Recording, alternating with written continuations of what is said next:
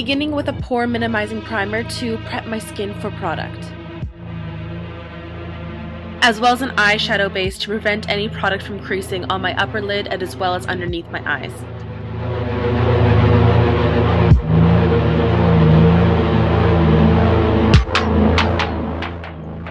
This makeup, I'm mainly going to be using MAC acrylic paint. This one is in white, making sure that I shake the bottle up. It's just a really highly pigmented white paint, and I love applying this on my face because it's so pigmented and really easy. So I'm using that with a foundation brush that I have sacrificed for this paint, and I'm applying that onto my face. I didn't think that it was necessary to do a brow block for this look, but if you want to, feel free. But for me, didn't think it was necessary. Just applying a lot of paint there and then creating the shape that I want with the brush just along my jawline. Pretty round shape, um, just drawing it in and then filling it in with the paint.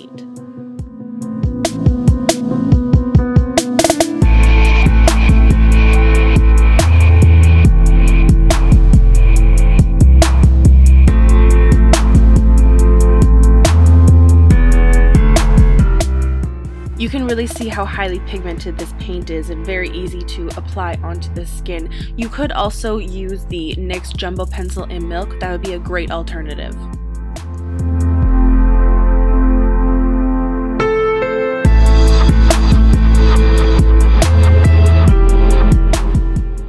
Making sure to really fill any lines and cracks around my face and especially on my lips. And on top of my eyelids I'm doing an extra layer just to really thicken it up and get it completely even.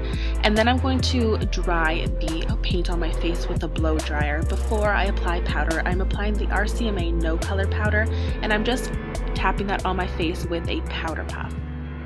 The paint does dry but I like adding some powder just for some extra security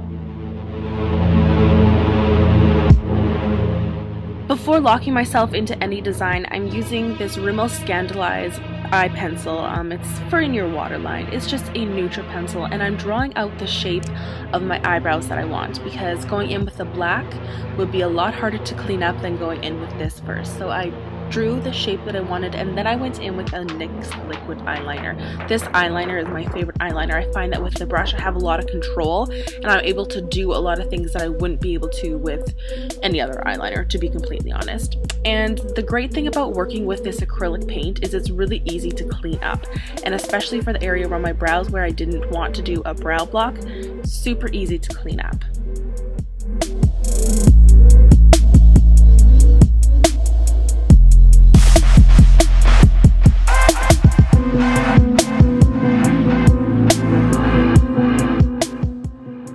That I went out of bounds, I simply went in with a little bit more of that white paint to clean up any lines. I designed this makeup as I was going along and underneath one of my eyes I drew a little triangle underneath and then I began to fill that in with the same eyeliner. You could be working with a gel eyeliner, that would also work, making sure I'm bringing it right up to the lash line. And for my other eye, I mapped out a little diamond shape and then connected the dots with little lines. Had the vision of this look being very asymmetrical, so that's kind of the theme that I was going for. And, you know, dots and triangles and lines and, you know, all that. Again, cleaning up is super easy. On the other eye, I wanted to bring it down a wee bit more, so I went back and tidied up where I wanted to elongate it a little bit.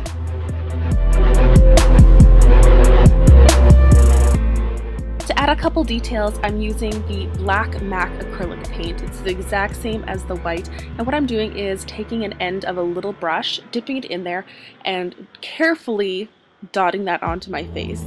Carefully dotting it on. Going back with that liquid eyeliner and drawing some lines and some dots. And above one eyebrow, I wanted to jazz it up up top there, so I'm drawing one giant line, placing a dot with a little bit less pressure on top of there and as well as underneath the other dot going in with a eyeliner into my waterline and also lining my lash line, both my lash lines, in order to put false lashes on. These ones are from Makeup Forever and I've had these lashes forever. Um, they add a little bit of something to the look. It looks very whimsical once these are on and I'm making sure that I push them up while they dry or else they might fall.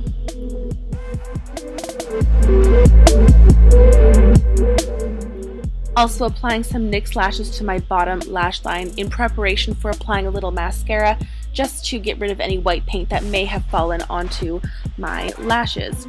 And for my lips, same with the eyebrows, I'm going in with that Rimmel pencil in order to map out my design. And then with the NYX Epic Black Mousse eyeliner, I'm using that as my lipstick, I suppose.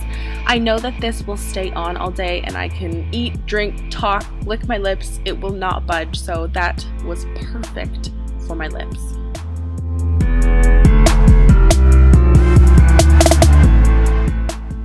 I added a couple more lines and some dots above my one eyebrow just to jazz it up a wee bit more.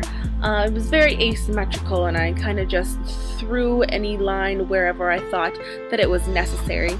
And then above my other eyebrow, I just put three little wee dots. Once I was finished painting, I wanted to cancel out my blue eyes, so I'm applying some black circle lenses from Pinky Paradise.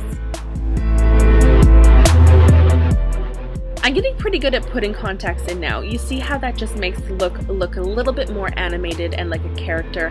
This is the final look. I hope you guys enjoy.